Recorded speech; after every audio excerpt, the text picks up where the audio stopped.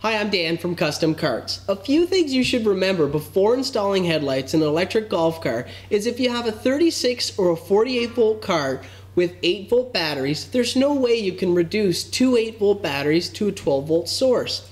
Here at Custom Carts, we install voltage reducers and the purpose of the voltage reducer is to reduce the entire pack safely to a 12 volt source. Now our voltage reducers are available in 10 amp and 25 amp for heavy duty applications. We usually install a 10 amp reducer on one of our headlight assemblies when we install it on an electric cart. Now I hope that this brings some insight to consideration when purchasing your voltage reducer because there's going to be some considerations on maybe further upgrades in the future or if you're just going to run headlights. Hope this video helps.